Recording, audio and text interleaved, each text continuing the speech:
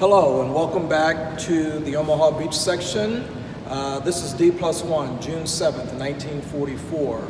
Uh, we are in a different section of the mural, but before I get to some of the vignettes on uh, this great piece of artwork, I want to talk about some of the artifacts that you can see here. I talked about we have a host of artifacts in this section. What you are looking at here are two pieces of hedgehogs. Uh, these are some of the obstacles that the engineers uh, the infantrymen, the medics, and other soldiers who came ashore on had to contend with.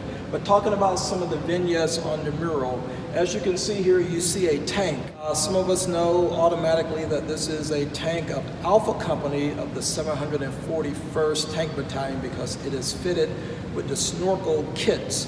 Uh, these are deep wading or deep fording tanks, which meant they had to be dropped off close enough to the shore where the bottom of the tank could touch the ground. As, as long as the snorkel kit was above water, it would make it to shore.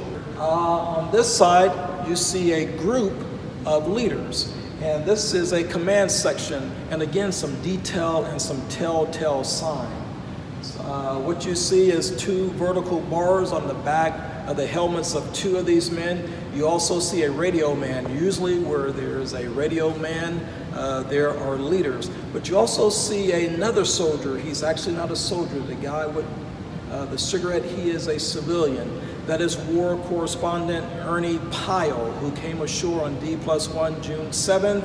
Uh, some uh, of us know him as the man who told us the truth about D-Day and he writes poignantly, poetically about what he actually saw uh, that morning. As he says, walking calmly among the beach where men are just sleeping and resting peacefully, and men are peacefully floating in the water and the waves and the shore.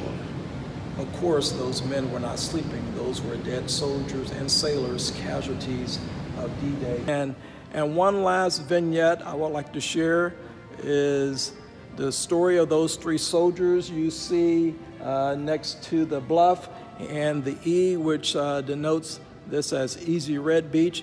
Those are the African American soldiers of the 320th Barrage Balloon Battalion. So those balloons that you often see in images on D-Day and on Normandy were operated by the African American soldiers of the 320th Barrage Balloon Battalion who also contributed to the success of the Normandy invasion.